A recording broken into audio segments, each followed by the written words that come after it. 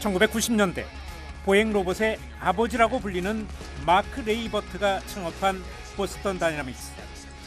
이 회사가 주로 이제 개발하는 것은 보행 로봇들이고 이 보행 로봇의 형태들이 90년대에 비하면 장족의 발전을 이제 하게 되면서 이제 빅테크 회사들로부터 주목을 받기 시작합니다. 얼마 전 이 회사가 올린 영상입니다.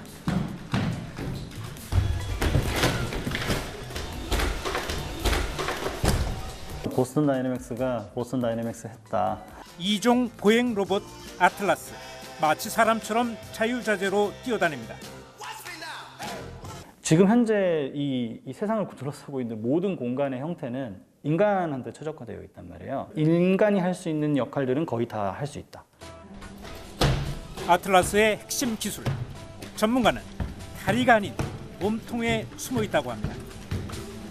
지금 보면 이 로봇이 이렇게 팔을 움직이면서 지금 점프할 때도 위로 이렇게 팔을 들면서 그 다음에 이 경사를 움직일 때도 어깨와 팔을 이렇게 움직이면서 이 균형을 잡잖아요. 사람처럼. 네, 그렇죠. 그러니까 사, 어, 바, 바꿔 생각해 보면 사람이 만약에 팔을 묶은 상태에서 저 장애물을 건너라고 하면 쉽지 않을 거예요. 불편하죠. 불편하죠. 네.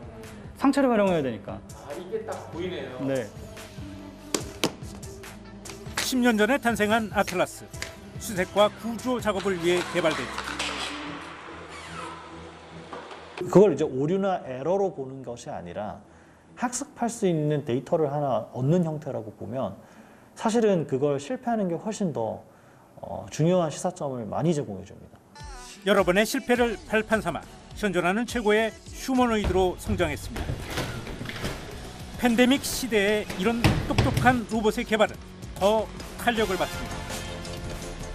로봇계 스팟은 팬데믹 기간 보스턴에서 원격 의료에 활용되기도 했죠. 팬데믹이 원거리에서 비대면으로 활용 가능한 로봇 개발을 앞당긴 겁니다. 인공지능을 장착한 똑똑한 로봇. 우리에게 어떤 영향을 줄까요? AI 전문가 윤성로 교수, 정부 4차 산업혁명위원회 위원장이기도 합니다. 근데 우리가 로봇 그러면은 사실은 뭐 인공지능 로봇 네. 그렇게 되면은 이제 휴머노이드를 생각을 하지 예, 않습니까? 근데 그거는 아주 극소수죠. 극히 일부분에 불과한 거죠. 예, 예, 맞습니다. 그래서 조금 인공지능에 대해서 조금 이제 학문적으로 조금 소개를 드리면 네. 이제 사실은 뭐 문학 작품 속에서 아주 옛날부터 인공지능을 사람들이 꿈꿔왔습니다. 네. 예를 들면 뭐 그리스 신화나 이런 쪽에도 이제 어, 그랬나요? 예, 예. 그리고 나서는 1920년대 이제 로봇이란 말이 원래는 이제 체코어이거든요. 예. 그 체코어의 노동을 뜻하는 단어가 아, 이제 로벌타라고 합니다. 로봇의 개념은 수천 년 전부터 있었지만 그 단어는 체코 극작가에 의해 만들어집니다. 명령에 따라 같은 동작을 반복하는 로봇, 생산성을 극대화시켰죠.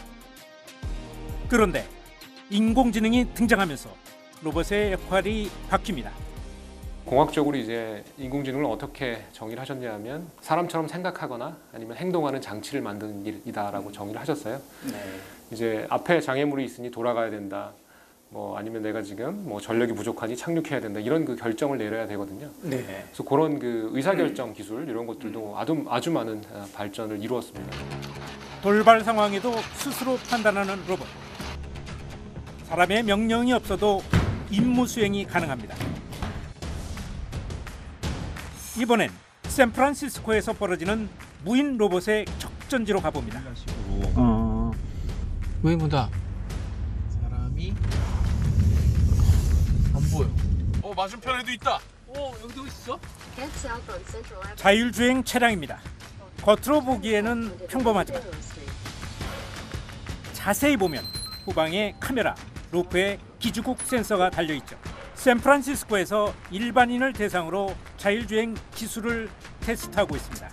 그간 테스트는 직원과 연구원들이 진행했죠.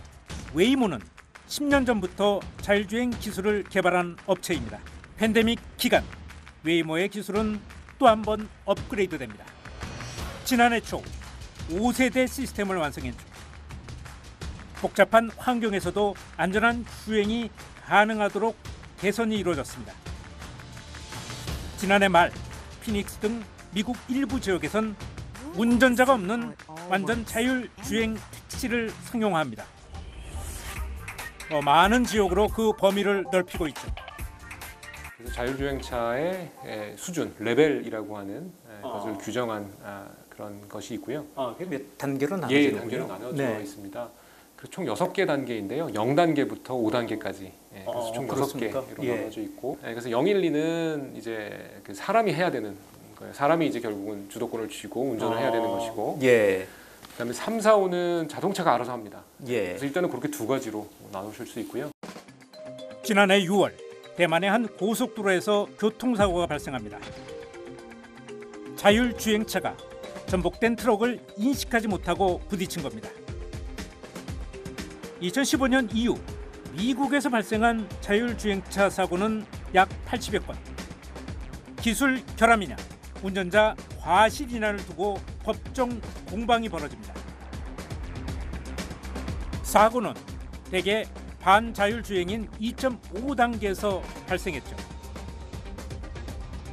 위험을 줄이기 위해 기업들은 기술 개발에 박차를 가합니다. 그렇다면 국내 자율주행의 수준은 어디까지 왔을까요? 전자통신연구원에서 개발한 오토비 이 차량이 오토비이고요. 이제 운전석이 없습니다. 그래서 엑셀 핸들 브레이크가 없고 연구원 내에서 시험 운행 중이죠. 운전석이 없고 앞뒤 방향으로 마주보는 좌석만 있습니다. 어, 일단 그 저희들은 인공지능으로 음성을 인식을 해서 목적지를 음성으로 설정을 하고 출발하자면 출발합니다. Hi 오토비 출발. 출발합니다. 음성 인식으로 제어가 가능합니다. 지난해 말 자율주행 면허를 획득한 오토비 테스트 주행 중이어서 시속 25km를 유지해야 합니다. 제 자율주행은 여기 밑에 보시는 모니터 컴퓨터가 여기서 이제 자율주행 소프트웨어가 동작하는.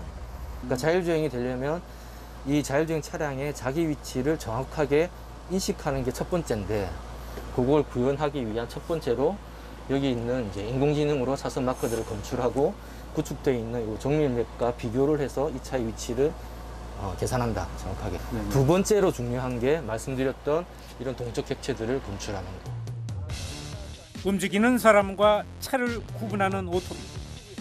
그렇다면 주행 도중 사람이 나타나면 어떻게 될까요? 보시다시피 섰어요. 보시다시피 섰어요.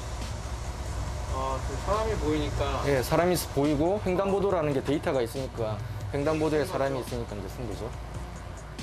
횡단보도를 지나는 사람을 인식해 스스로 멈춥니다. 그렇다면 일반 도로에서 장애물이 나타나면 어떻게 반응할까요? 연구진에게 알리지 않고 제작진이 깜짝 테스트를 했습니다.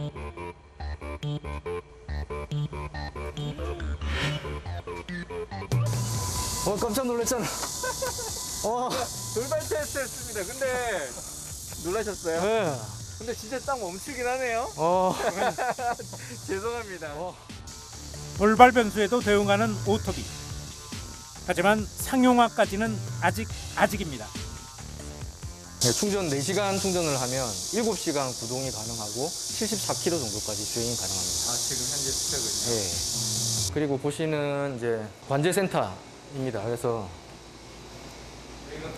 예, 예, 보시면 이게 그 이제 애들이 오토비 초연결 지능 인프라 모니터링 시스템이라고 이름이 되어 있고요. 이제 원만한 자율주행을 위해 관제센터에서 여러 정보를 모아 차량으로 전달하죠. 인프라의 가장 중요한 점은 그 자율주행 차는 센싱의 한계가 뭐 100m, 200m 정도밖에 안 돼요. 근데 예를 들어서 자율주행 차량이 주행을 하는데 여기 뭐 공사를 하고 있다?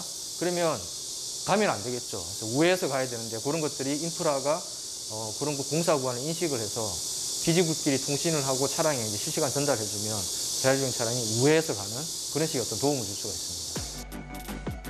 2027년 4단계 자율 주행을 목표로 합니다. 최소한 야간 그리고 이제 뭐 우천 환경 비가 많이 폭우 같은 게 아니고 비가 조금 오는 환경에서도 자율 주행을 할수 있는 그런 단계가 4단계라고 생각하고 그거를 위해서 저희들이 연구 개발을 하고 있습니다.